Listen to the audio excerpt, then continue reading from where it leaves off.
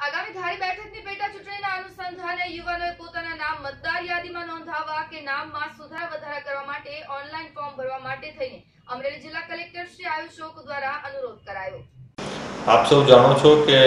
ધારી વિધાનસભા મત વિસ્તારમાં પેટા ચૂંટણી ટૂંક સમયમાં થવાની છે. તેના ભાગરૂપે એક એક બે હજાર વીસની લાયકાત ધરાવતા તમામ યુવાનો અને યુવતીઓને મારી વિનંતી છે કે જેનું જેનું નામ હાલ મતદાર યાદીમાં દાખલ નથી એવા તમામ લોકો પોતાનું નામ મતદાર યાદીમાં દાખલ કરે અને સાથોસાથ પોતાના નામ જેના ઓલરેડી મતદાર યાદીમાં દાખલ છે એ પોતાનું નામ તપાસી લે, એમાં કંઈ ભૂલો હશે તો એ પણ સુધારવા માટે તાત્કાલિક ઓનલાઈન ફોર્મ ભરાવી દે. હાલ કોરોનાની મહામારીને ધ્યાને લેતા આપણે સોશિયલ ડિસ્ટન્સિંગ જળવાય તે માટે તમામ મતદારોને વિનંતી કરી રહ્યા છે કે એ